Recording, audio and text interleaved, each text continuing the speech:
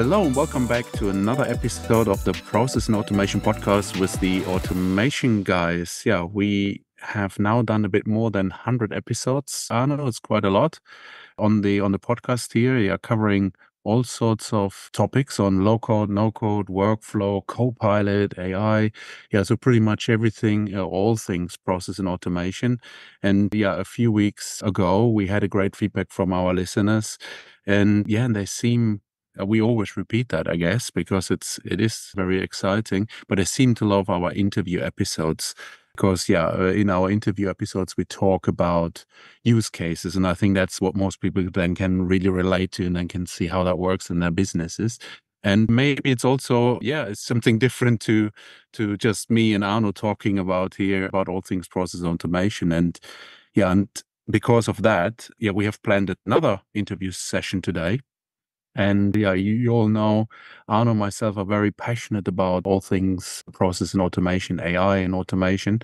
And yeah, we can't stop talking about these topics with others who share the same passion as we do. And our guest today is 100% that kind of person, I think. So without further ado, it is with great pleasure to have Peter Baudis, founder, CTO, and chief architect from Rossum on the show. Hello, Peter. Very nice to meet you. Nice to meet you too. Thanks for having me. Yeah, how are you today? I'm great. How are you? Yeah, oh, good. Here we are finally a bit of uh, sun here in London, and hopefully you are as, as lucky as we are. Same here in Prague, actually. Very great. That's great. So yeah, Peter, yeah, we are very excited to hear your insights today and um, learn more uh, learn more about Rossum and and of course everything what Rossum does and and I guess one one big part is document uh, AI document processing. So, yeah, to kick off, can you please share with our listeners a bit about your background and what you do at Rossum and maybe also how it all started? Absolutely, absolutely. So, uh, yeah, my name is Peter Baudis, and uh, I'm kind of computer programmer by trade. Historically, I got involved in many, many open source projects. Actually, I was yeah developing some of the core Linux system libraries, the Linux system kernel, etc. Maybe most notably, I was one of the early developers of the Git version control tracking system. So I was working with uh, Linus Torvalds and uh, the team uh, on that, adding many of the kind of user facing features in that in that area. But uh, over time, I got most interested in artificial intelligence and machine learning, etc. So another project I did is I was very involved in in computer Go. Uh, there is this board game of Go, which was traditionally very hard for computers, mm-hmm. but uh, eventually DeepMind came and they released AlphaGo, and actually what they used as a reference player to show how much better they are was my program, which was called Pachi, which was at the time most advanced open source computer Go program. So I got a couple of uh, a couple of references in their scientific papers. So I got uh, involved in a variety of, uh, of projects like this. But uh, mm-hmm. during during the time I was doing my PhD, I met Tomáš Gogar and Tomáš Tunys, who are the other Rossum co-founders. We met in a, in a single lab and working on various. We were working on various uh, machine learning and AI problems.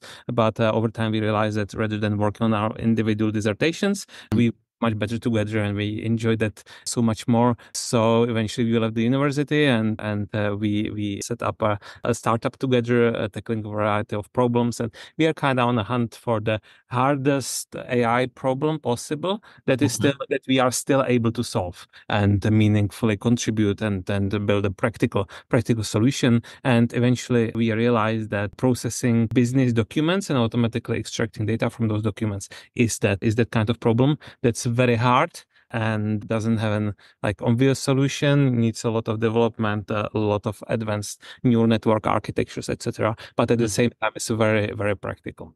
So uh, we started we started working on that. We set up Rossum and we started building the team. We, we, brought the first product to the uh, to the market. And over time we realized that actually it's not just about the AI extracting data automatically. What real mm-hmm. businesses need is so much more. They need a great user interface for all this. They need a platform to set up all the business rules they need. Obviously, then they need integrations to get the data where the data needs to to to get but uh, but eventually we realize the problem we are solving is actually a communication problem because document there a business document is actually a communication medium and what actually uh, is the is the eventual uh, real need of those companies is they they work with other companies and they need to execute business transactions with them. So for that, they need to exchange a lot of documents back and forth. But that that becomes a huge administrative overhead, and they end up with mm. open spaces full of hundreds of people, uh, eight hours a day, five days a week, just typing over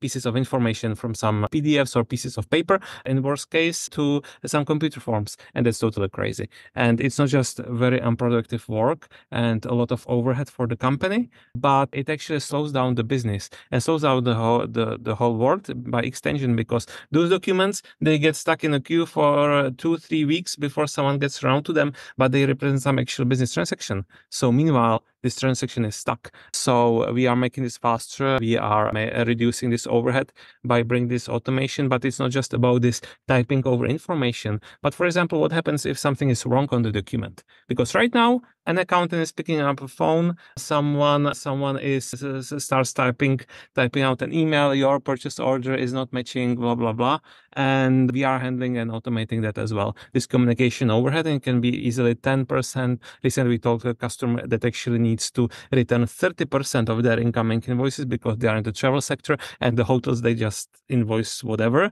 and need a lot of hand holding mm-hmm. so so th- then this is a significant overhead so we are solving uh, with our product this this problem end to end, receiving the document, kind of processing processing it, automating all the transactions, the approvals, etc., all the way to the integration to your source of truth, to your uh, to your ERP or whatever.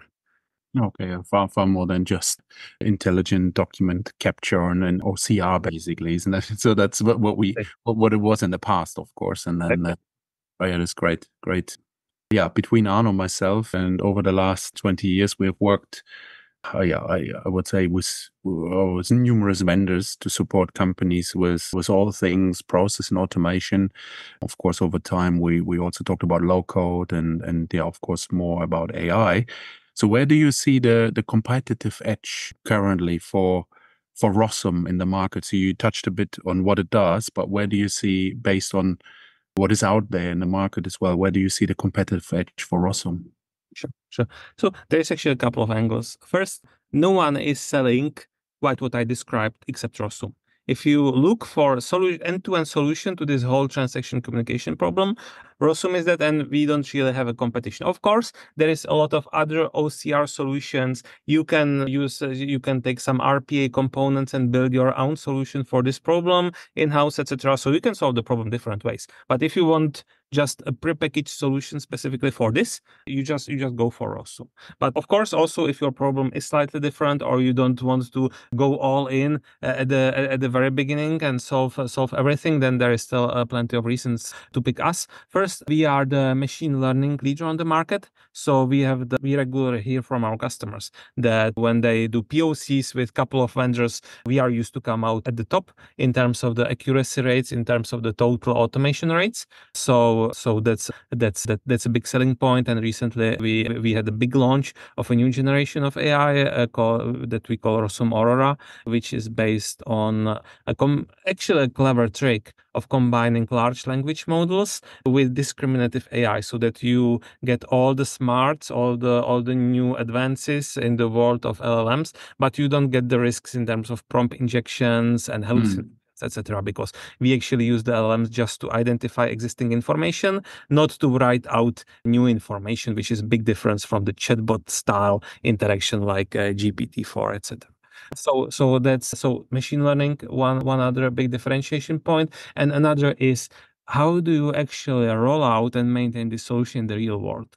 Because obviously that takes traditionally a lot of resources, a lot of high high expertise, people who understand all your internal IT systems, who understand the business rules, who can then actually configure the system, etc. And what we are what we are bringing is a completely new experience in terms of how you customize the solution for yourself. Of course, one thing we offer is prof- traditional professional services, but mm. we also employ a lot of AI and a lot of novel paradigms how to how to get all your computations that you want users to check into into Rossum and how you can actually easily maintain it. Because our philosophy eventually is that if ideally when a document comes in, no one ever sees it.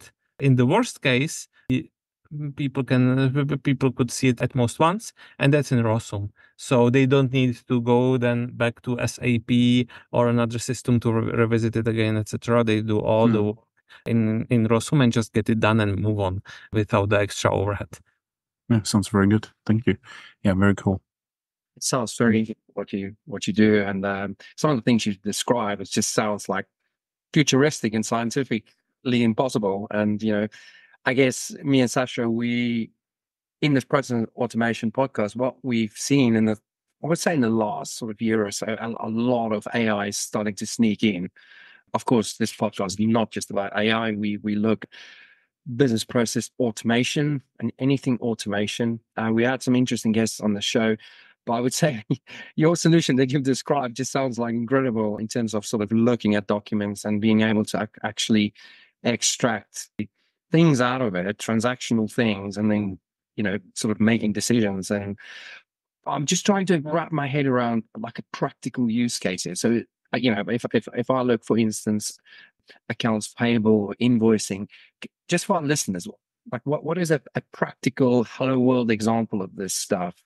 Because you know, in, in in in a podcast that people do ask us a lot to just describe what we do in terms of, of use cases, and be really, really good for our listeners just to understand in a very, very simplistic way what that looks like and how you started, and you know how do you build up from from there.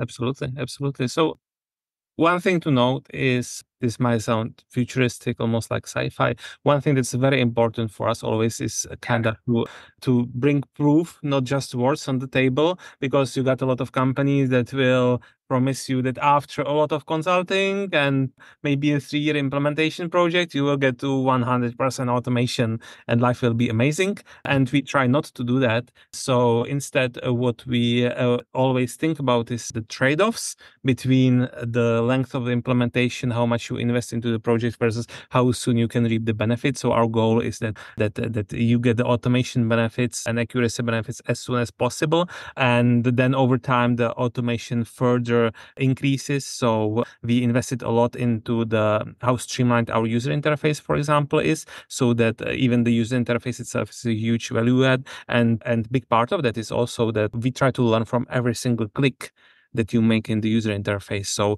the the, the AI is, is can literally learn in front of your eyes and and adapt very quickly. We have a technology that we call instant learning, where uh, when you correct something in one document, with a high chance the very next document that looks the same will already be captured uh, captured correctly. Uh, so that's uh, that's uh, that, that's one thing. Uh, but another thing is why we don't like just empty promises is we actually have everything available or most of the things available in our free trial that anyone can just go and sign up. You don't need to set up a sales call to listen to someone show on an artificial example. You can ju- just just go set up your your account and upload a couple of your documents and see what it does.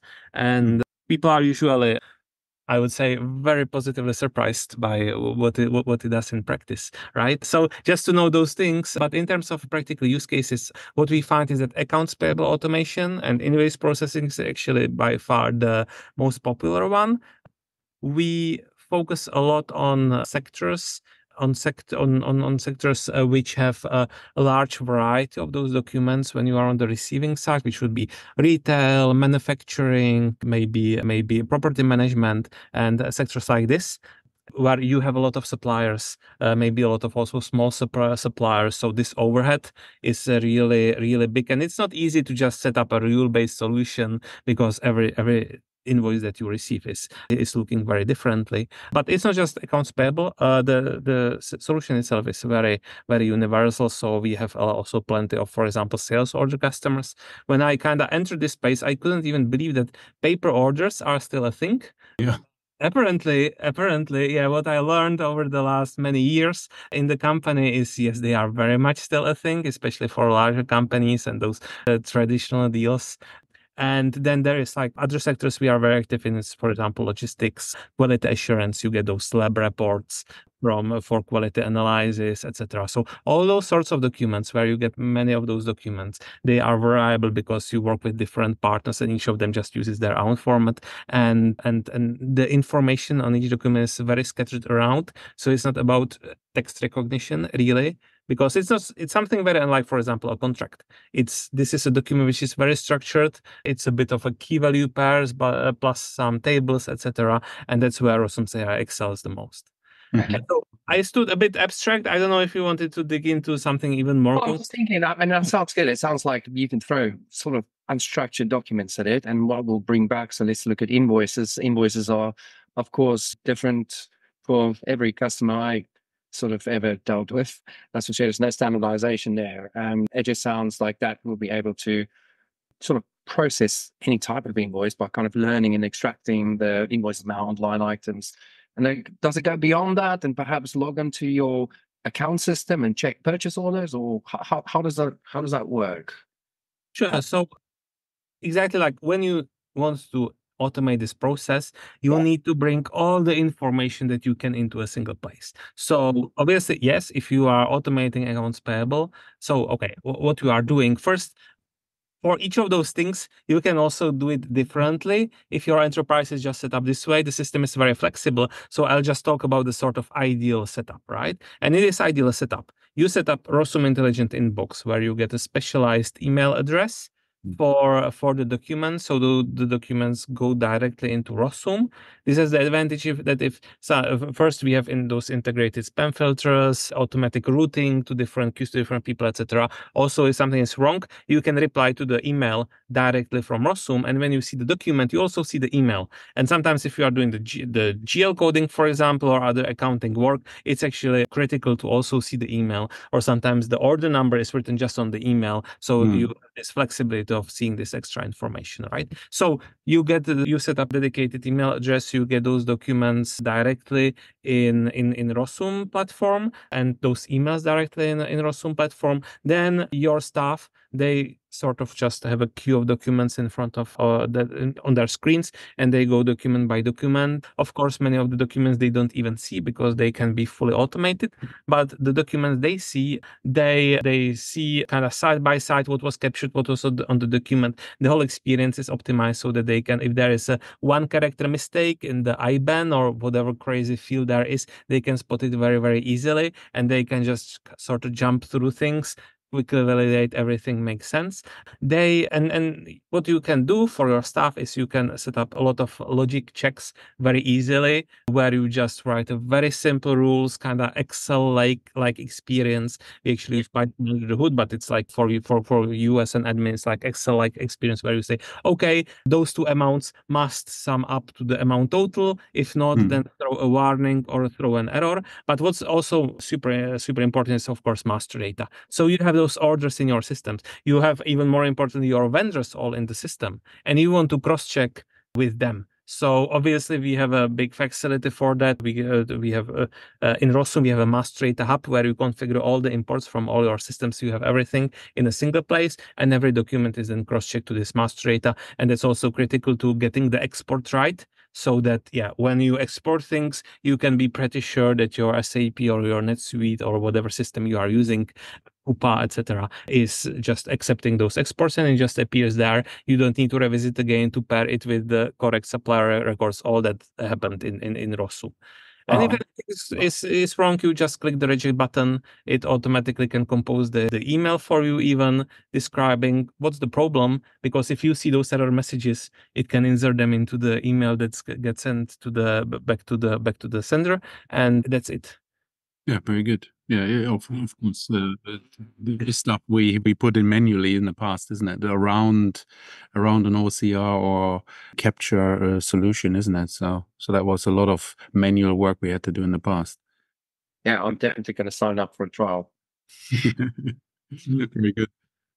Uh, Peter, I remember you you have a very exciting other use case. So accounts payable, of course, that's and and, and finance. It's also very very is always very, very clear invoice processing. And I'm al- always surprised anyway how far we are still are to a full end-to-end kind of invoice AP processing. So, but yeah, but that's that's great that you you have that technology there, so everyone can use it.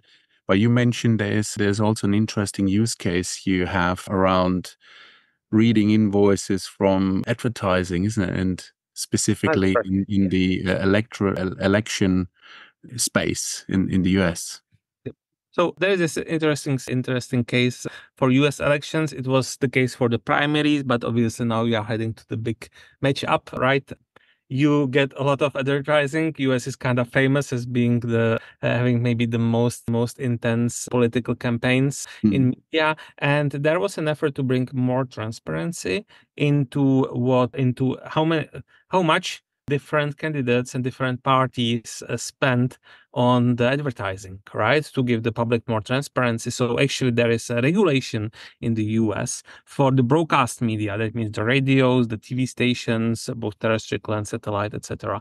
And and this regulation says if it's a political advertisement, you need to report this advertisement uh, to the FCC uh, which is the regulation body for Federal Communications Com- Commission, right? And what what they do is they send the the the orders, but also the invoices for that with all with all the detailed spend breakdown, the exact flight times of those advert uh, uh, adverts, etc. They send it to the FCC, and FCC makes it open to the public to review. Mm-hmm and to see okay what's what's uh, what's the spend etc except there is a snag and the snag is what they make available is all those individual pdf invoices all those crazy low quality scans etc because so so what what you want is an excel sheet that uh, gives you this uh, this detailed breakdown. Okay this candidate run spent so much so much on tv in this region uh, region with this uh, call sign from this date to that date etc but you don't get that. You get a bunch of uh, gigabytes gigabytes of uh, of, of one is looking through it isn't it? So yeah yeah. So and there is there are companies who provide insights into this,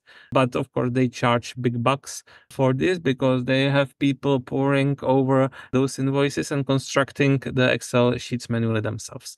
So we are thinking this is a good opportunity to, to do a bit of a pro bono work and democratize this information because of course this is what our AI engine is perfectly suited for. So we let it crunch all those invoices. Actually, it's still crunching them in real time anytime some some media uploads the document it bubbles through the fcc infrastructure and then in the next hour it goes to our system and our system automatically parses it and and we are providing this information for free. So we are running a public dashboard where anyone can check out the spends of different candidates, trends over time, uh, geographical trends, etc. And it was a bit interesting around the around the primaries mm-hmm. to see who was spending where, who maybe how much actually Nikki Haley, for example, was uh, spending and uh, was focusing for on the radios versus was focusing on some like uh, contentious areas and cable cable network, mm-hmm. etc. Now it's a bit of a quieter period, but as as uh, things heat up for the for the for the uh, main elections in the fall, this will be very interesting to watch, and then we will be looking at it with some journalists and some data data journalists to see what the trends are and who is spending money where. Yeah, very interesting. Yeah, it is it's, a brilliant use case for for that technology. Yeah, I will look deeper into that as well because I guess it gets really interesting indeed in the next couple of months. And then we see uh, how how late are these invoices coming through? Is it usually like a month later or two months later? Actually, it can be the very. Uh, uh, there's the mandate that that the media must report them immediately. Of course, mm. it's not mm. uh, kind of defined, but uh, it can be the very same day the the the advert uh, gets into the broadcast. Okay, that's cool. So we see that data nearly then in real time uh, popping up. Yeah, amazing. Brilliant. Yeah, very very exciting. So yeah, I will I will put the the link to that. I think there's this uh, the, the, the tracker, isn't it? The the yep. tool, the monitoring tool. I will put that in the show notes, and then everyone who is listening back can then see and go through the data in real time and slice it and dice it and come up with with their own conclusions. Yeah, brilliant. Yeah, thank you very much. So, yeah, so obviously the topics intelligent automation, hyper automation, AI. So, when we now look a bit more into the future, where do you see things developing or for companies in in these areas and also in intelligent document processing? And where does Rossum fit in going forward?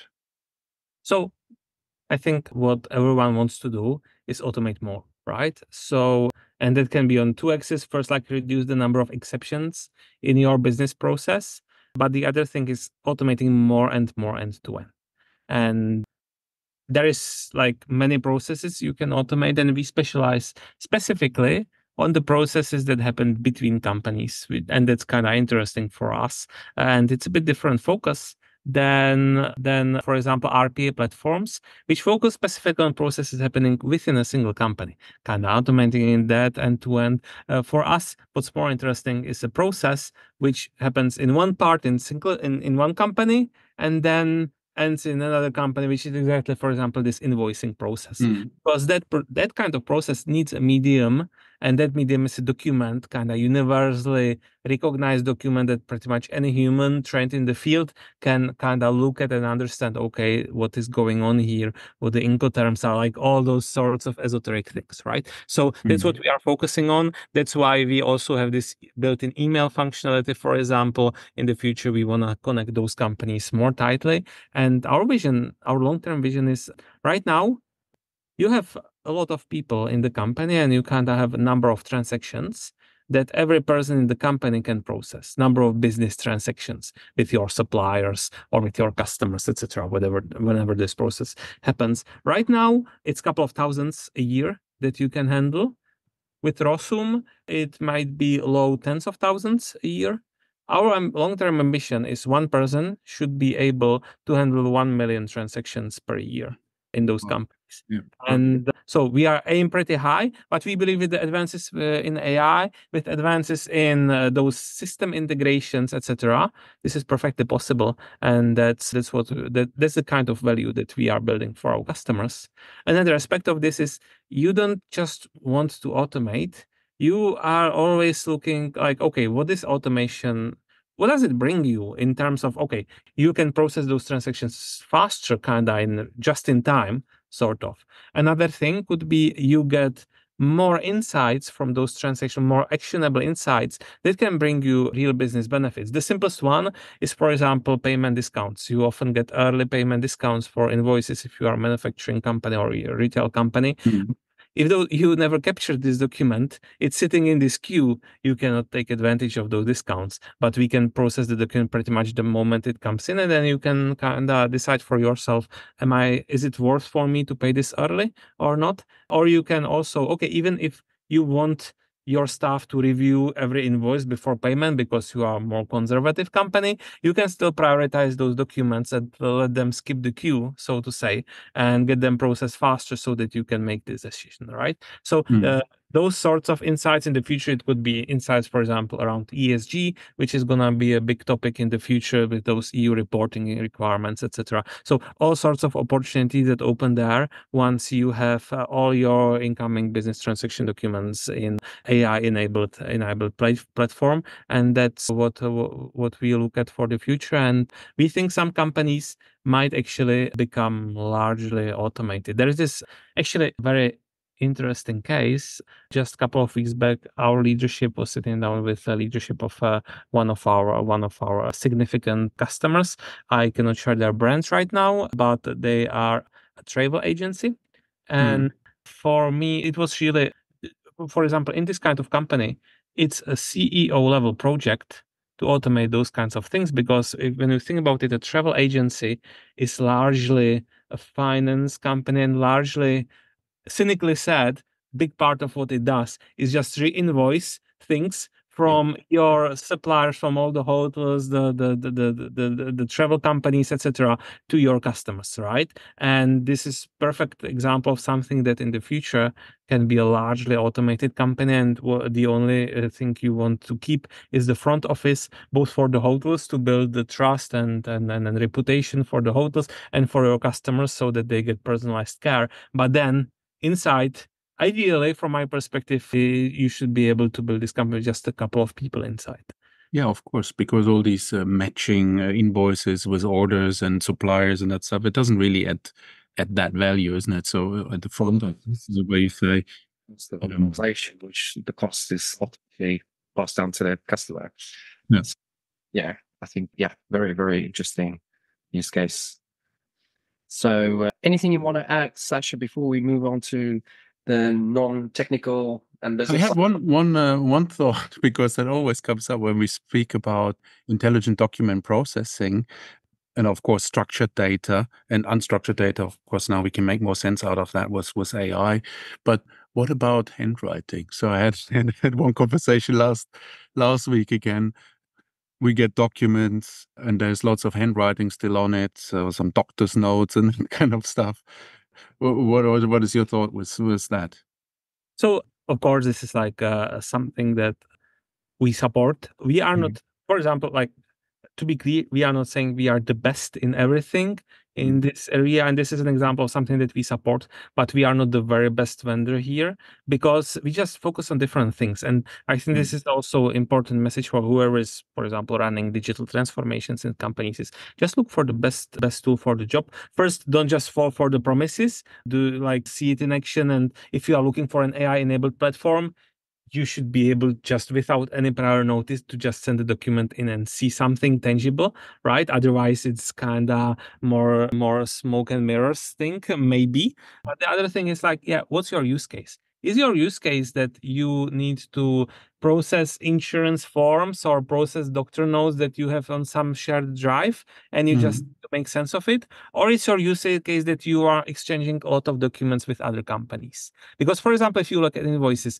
handwriting is super rare orders the same thing. It's just like printed out sent and and and and, and read back again right? Or ideally not even printed out just send send the pdf right? So it's a Mm. very different case and just choose the choose the best thing for the job. So of course we have customers who sometimes get some orders with some uh, random things scribbled and we can handle that. But if you just have those insurance forms that are fully fully filled with handwriting look for the for a vendor who has handwriting and form processing as their key strength because they will be better for you Okay, good, good to know. Yeah, perfect. Yeah, thank you. Great. And- So I think we move on to next uh, part of the program today. And it's tradition on this podcast where we like to sort of, from our listeners' perspective, get to know our interview guests a bit more, you know, more. We've kind of understand the technical bits on the on the business side of things, and usually what we do is we ask a, a quick few questions. Um, so I, I don't know if you're up for that, Peter, and we can uh, fire away with a few. I promise you, they're not very uncomfortable ones. So if you're happy, I'll I'll, I'll do that. yeah let's let's do it bring it on Okay, so the first one is who's your idol and why? Right. So I don't honestly idolize people much. I don't have that many role models. When you ask this, I think two people come come on my mind. First is Jensen Huang, uh, the CEO of Nvidia. I actually spoke with him personally, and I followed him a bit, and also his management philosophy, and that rings very close to me. And of course, I am I, I admire his also foresight and the way in 2005 how he actually back then if you think what was ai and he decided actually to double down on general compute b- back then etc and it was like an amazing bet. But also the way he runs the team at the company i think is, is super interesting. And and the second person that comes uh, on my mind is adrian newey who is the cto of red bull racing He's the best best engine designer in in motor racing Formula One. And actually, I'm not really into motor racing. I think I've never watched Formula One race in my life, but I admire the technology behind it. And again, like, it's kind of he's the CTO, but he's a very inventor type person, and he's kind of my he represents the archetype of the kind of CTO I would like to be. Yeah, interesting. So yeah, Formula One is uh, Arno's and my sort of second or third passion. ah, well, uh, Yeah. awesome, amazing. Yeah, I gotta now. Now I'm just finishing book by him how how to build a car, and now I'm thinking, okay, I should I should I should just watch a couple of races. Maybe I will Yeah, get into good. it. Yeah, and and you- going going live into a location, of course, uh, watching it on TV is, is one thing, and then watching it live. So with the engine sound, I think there there is something really exciting. Um, historically, uh, it was even louder, so so that, that that has been taken away a little bit, but still very exciting when you see the cars going going by. Yeah. Right. Yeah, yeah. When, when you're in the UK and, and up for it, we can invite you to to Silverstone or stuff. That's a deal then. Perfect. Right. Yeah. Thank you for that. Um, Yeah. So the next question, oh yeah, we have yeah, imagine you could get the contents of an contents and knowledge of a book instantly. Which book would you choose? Hmm. Okay. Interesting one.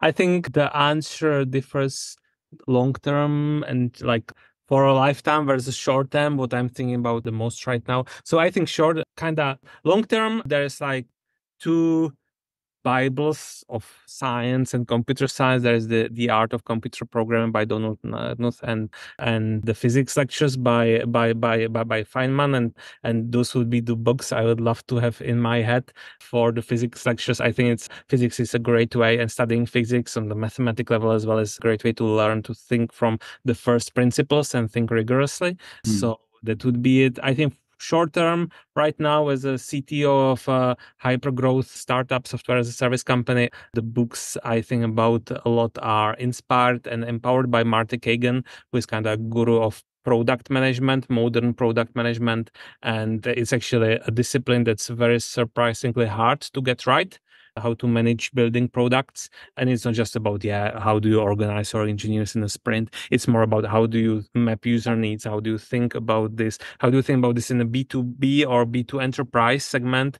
Because we are usually selling to enterprises and things just move at a different pace and the feedback loops are different than if you build instagram or a company like this right? So uh, that's mm. uh, right now i think that would help me the most getting yeah, those right. part and empowered.